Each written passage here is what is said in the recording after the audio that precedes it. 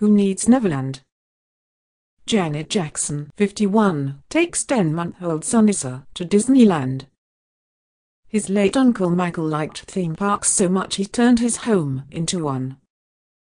So it stands to reason young Eissa Al Mana was going to love Disneyland when he visited with his mom Janet Jackson on Tuesday.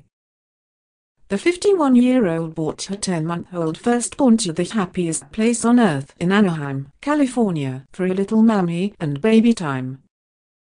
The singer was typically dressed in all black rocking trainers, loose-fitting bottoms and a zip-up hoodie. She opted for a bold red lip and wore her masses of curls in a tight top knot. The youngster meanwhile looked cute in navy shorts and a white onesie, with an imperative white sun hat on top. Impressively, the mom of one seemed chose against using a stroller, carrying her healthy-sized son in her arms as she navigated the park.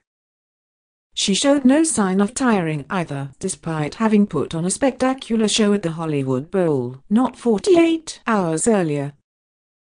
And on Monday night she showed off her sensational post-baby figure at a party celebrating her new tour, kicking off the nasty hitmaker, who is embarking on a string of energetic performances around the USA over the next few months, showcased her slender frame in a stylish all-black ensemble. She'd previously postponed her 36-leg Unbreakable tour to start a family, and fans were concerned State of the World might also be subjected to a delay when Hurricane Harvey caused devastation across areas she was scheduled to perform in. Ahead of her appearance in the disaster hit Houston, the pop star said in a Twitter video, I know there were rumors about whether we would do the show in Houston or whether we weren't going to do the show in Houston. I'm here to tell you we're going to do the show.